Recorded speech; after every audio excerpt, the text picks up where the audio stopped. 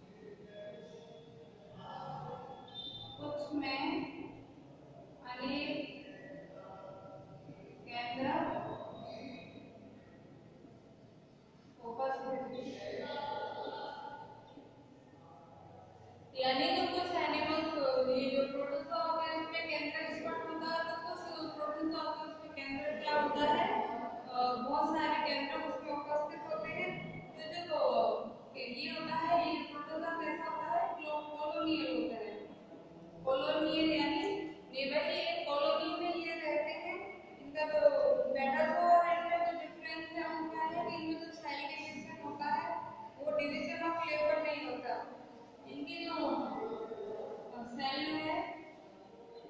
और सारी जो है समान संरचना वाली